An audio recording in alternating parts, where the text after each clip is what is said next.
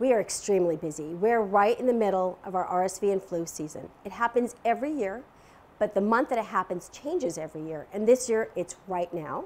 We're seeing about almost 400 patients a day, so um, very busy. So, when should parents be coming to the emergency department? This is true for all throughout the year and not just during flu and respiratory season.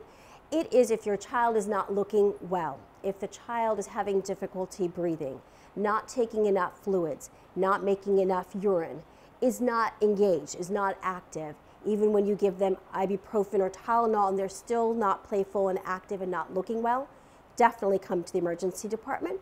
Or even you can check with your primary care physician first, and if they can't see you, we'd be happy to see you. The wait times are unfortunately very long just because we're seeing so many patients. Sometimes they come in clustered together, so we're trying to see every child as safely and efficiently as possible. So it is not recommended if you are a well child with no health problems to check for RSV or flu less than two years of age.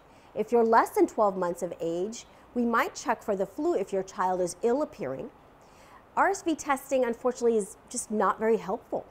And the reason is there's no medicine that treats RSV. We just treat the symptoms of RSV. So even if your test comes back positive, it does not change how we treat your child.